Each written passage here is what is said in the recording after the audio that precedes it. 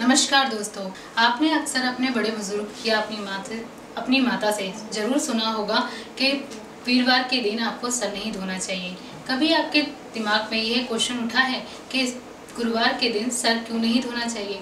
Sir धोने से कहते हैं कि आपके सर से सारी की सारी जो टेंशन होती है वो बढ़ जाती है।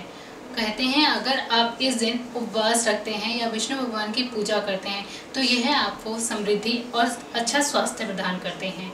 तो जानिए इस वीडियो के दौरान कि वीरवार को सर धोने से क्या होता है। वीरवार को सर न धोने के पीछे एक कथा है।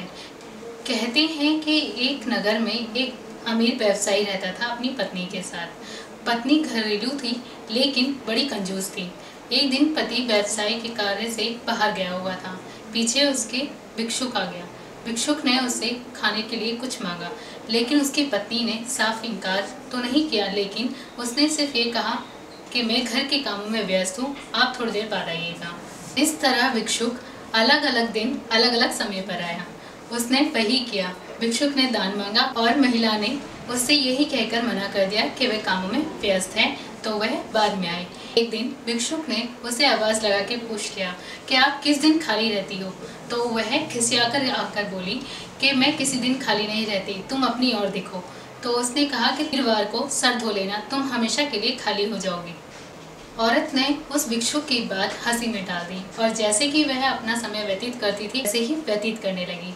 उसने ना चाहते हुए भी वीरवार को सर धो लिया और वह हर बार वीरवार को सर धोने लगी। धीरे धीरे ऐसे करते हुए उसके घर से सारा धन, सारी खुशियाँ, सब कुछ बिखर गया, यानी कि नष्ट हो गया और वह रोटी रोटी के लिए तरसने लगी।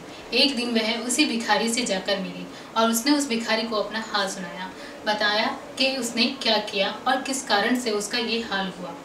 बाद में उस दंपति ने उस भिखारी से जाना कि जो भी थे वो भिखारी नहीं थे, वह बृहस्पति के रूप थे और उन्होंने बृहस्पति से क्षमा मांगी और क्षमा मांगने के बाद उनकी पूजा अर्चना शुरू कर पूजा अर्चना के साथ साथ उन्होंने कहा कि आप अब अपने काम जैसे करते थे, वैसे ही करो और वीरवार के दिन सर कभी मत होना उसके घर में सारी खुशियाँ फिर से लौट आई। फिर से वह उनका व्यवसाय चलने लगा और सारे काम शुरू से जैसे चल रहे थे, वैसे ही होने लगे और उसे किसी भी तरह की परेशानी नहीं हुई।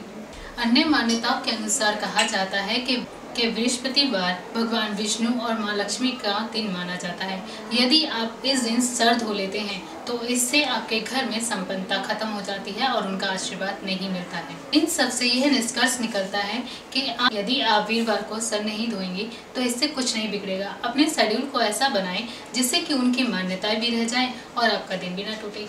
आप रविवार को सर धो सकते हैं, क्योंकि रविवार को किसी भी तरह की कोई मान्यता या कोई कथा नहीं जुड़ी हुई है। आप इस दिन सर धोने से वैसे भी सूर्य मज़बूत होता है, इस दिन साफ़ सफ़ाई करने से।